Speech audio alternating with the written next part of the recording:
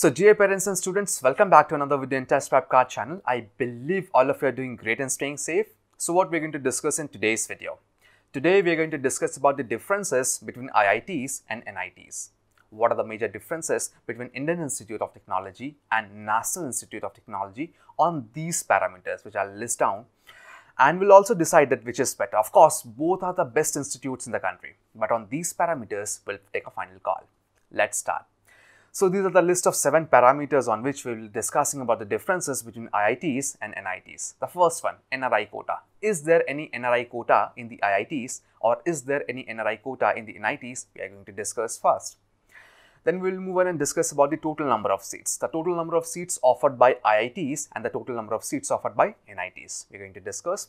The third key aspect here is admission criteria and required entrance exam. That what are the major entrance exam that you need to clear to get into these top institutes.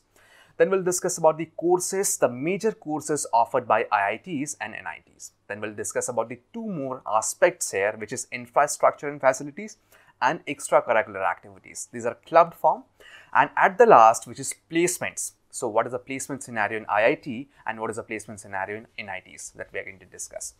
And again after this point of time you still have any doubts, any questions, any queries feel free to ask in the comment section below. Let's start. So now NRI quota, let's start with discussing about the NRI quota. So as per the latest guidelines of DASA and CIWG, it says that there is no NRI quota in the IITs which does not mean that you cannot take admission. NRIs can take admission in the IITs, but they have to clear advance, JEE advance with the required cutoff like the general students do, then they will get a call from the IITs. And good news is that there is, yes, quota in the NITs. You can see the list of NITs right here, which is NITA, MNNIT, NITAP, MANIT, NITC. There are many more NITs right here. You can see these are total of 6 times 4, which is 24, plus 4, which is 29. So, there are total of 29 NITs in which there is reservation, there is quota for the NRIs and the DASA and CIWG. You visit the site which is www.testprepkart.com slash jblog single PHP ID 1162 NRI quota in IITs. And even in NITs, you'll have entire information about this part. But as of now, you know that yes, there are reservation in the NITs, but there is no reservation as such in the IITs. All right. Now let's move on and discuss about the total number of seats. So let's start with discussing about the IITs. So in the IIT, as you can see, this is a list of IITs.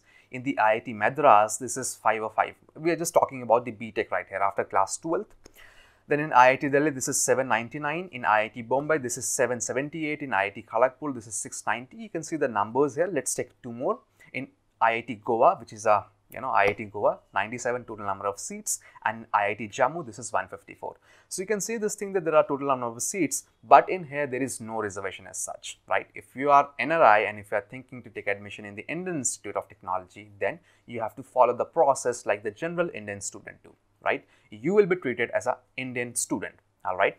Now, not discussing much about this part, but let's move on and discuss about the NITs because in NITs, you guys have the reservation. So, NRI quota is available in NITs and CFTIs in the form of DASA and CIWG. And yes, it says that there are total of 3,000 seats, 3,000 seats that are available for the NRIs under which 1,000 are reserved for CIWG. So, this is under CIWG quota and 2,000 are under DASA quota. So, this is about the total number of seats and its mapping 3,000 seats reserved in the NITs out of which 1000 for the CIWG and 2000 for the NRIs and the DASA and CIWG quota. Alright. Now, let's discuss about the other aspect that what is admission criteria and required entrance exam that you need to clear to get into this top institutes. So, here I am just discussing about the first one as this is clearly stated that in the NIT it says that you need to clear JEE Mains. JEE Mains if you clear that exam JEE Mains there are fair chances that you will get a call from NITs but yes you have to clear the cutoffs too and in the IITs which is the second phase just after JEE Mains that's called JEE Advanced. So you have to clear JEE Advanced then you will get call from IIT. Okay, of course you have to clear the cutoff.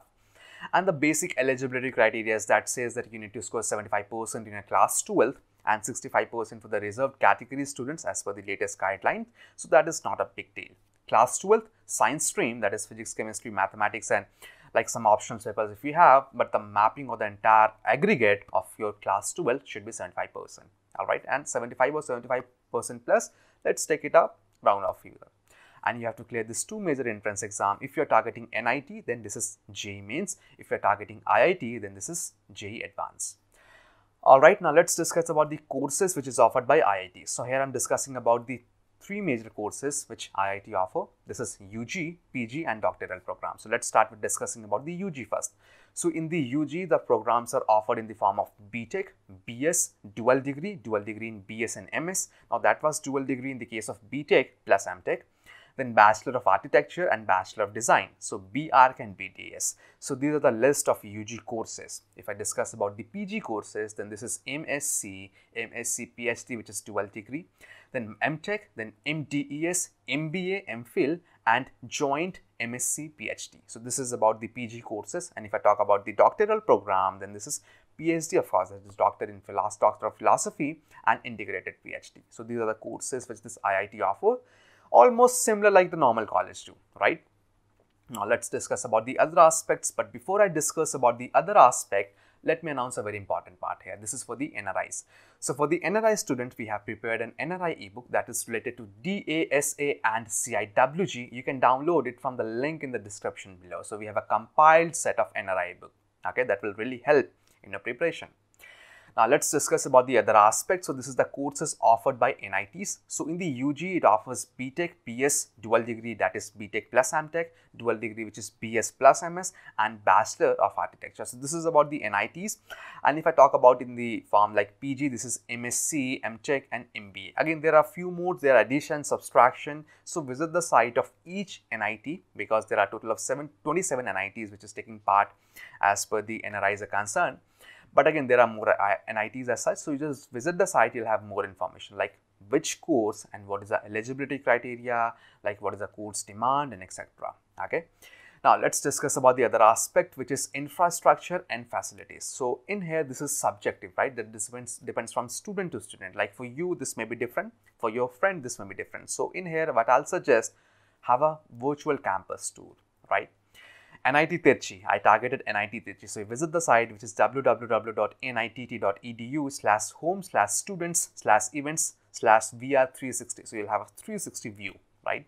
So that will give you an entire view about the campus, how the how big the campus is, right? The infrastructure, and you visit the site at the same time, you'll have all the information about the facilities, and similar with the IIT, right? In here, this you just need to visit www.youtube.com, watch question mark V and that is equals to this code right here, right? Or just search in the YouTube that just want to visit or just have a virtual tour of IIT Delhi, IIT Kharagpur, IIT Mumbai or anything, right?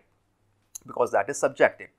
Because for many students, this size matters, campus size matters. They want to study in a very big campus, so they want to study in a very small campus. But these are the national institutes. This represents the country. Indian institutes, as the name suggests. National institutes, as the name suggests. So all the campuses are, of course, lavish, big. So you don't need to bother about that part, right? Of course, a lavish campus and much, much, almost all the facilities that you'll have. Okay, you just name it and you get it. Now let's discuss about the extracurricular activities. So extracurricular activities of these institutes are awesome, right? There will be like society of mechanical engineers that's called Mechanchy Society, right? Then there are educationalist visit, design competitions, boot camps, tours, amazing life and much more and then Spike Mecha. There are much things, right? The first of normal NIT or IIT is a high budgeted first, first, right? They call many celebrities. There are many learning opportunities. There are much thing. The life after this institutes is immense, is awesome. And the life when you just spend your, of course, your four years or your two years, any year, if you're targeting BTech, then of course you're going to invest four years. If you're targeting masters, then you're going to invest two years or PhD or anything. You will enjoy the campus. The extracurricular activities or life in these institutes are in short awesome. Alright, now let's discuss about the last part which is the placement part. So here I'm just discussing about almost all the NITs and IITs. So if I just discuss about the NIT first, let's start with discussing about the NIT Jalandhar. So the average pay package is 7.53 and the highest is 31.12. This is up the last year data, okay. For the MNIT Jaipur, this is 7.5 the average, 37 the highest and like Motilal Nehru Institute of Technology, this is 7.82 the average and then 36 the highest. Let's take few more like NIT Raipur, 7 was the average and 38 was the highest, right? So, in this particular page, if I talk about the maximum average, this is 13.3, right, which is NIT Warangal. So, that is subjective, you have to visit the sites but again, as per the placements are concerned, I always suggest you guys that please have information in the median pay package form because that will give you the exact picture. See the differences, this is average and then just next, this is highest. You have to decide on where you are falling, right? These are few NITs, there are few more like NIT Rourkela, NIT Pondicherry which is 5.6 average, 4.9 average. So, I will just make this thing very shorter right here that if you are targeting NIT, so for the NIT, the average pay package is somewhere around 5 to 7 lakhs. To be frank guys, 5 to 7 lakhs rupees is the average pay package. They will show you some flowery things like 1 crore or anything, but that is highest. So don't get befooled after that, right? If I talk about the median pay package, this is more than of course 6 lakhs. And the, mo the most important part right here is that this is not about the just placement that you just the package that you will get after this college the option, the career opportunity is, you know, like a exponential graph that will be like you're just going ahead only, that got just like a top only, right? If this is 5 lakhs in the next year, this will be going to be 6.5 or 7. That depends upon how you switch with the companies. So, not a big deal. Again, these institutes are the top institutes. So, placements is not a big deal for these institutes, right? And for you guys also, you will obviously get placed. The main concern here is your studies. You have to put everything in here. Your blood your energy right your time then only obviously the returns on that part will be really high.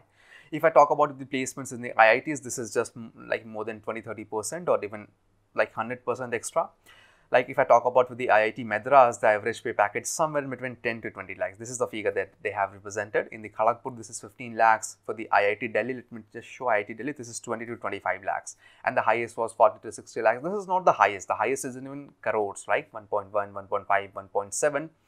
So again, IITs or Indian Institute of Technology, this is the top institute in the country, right? So the placements is not the concern right here.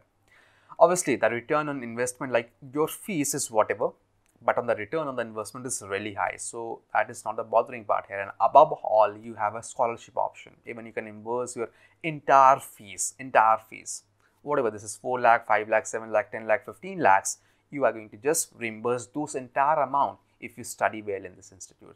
You have enough, enough opportunities after this institute when you pass through these institutes.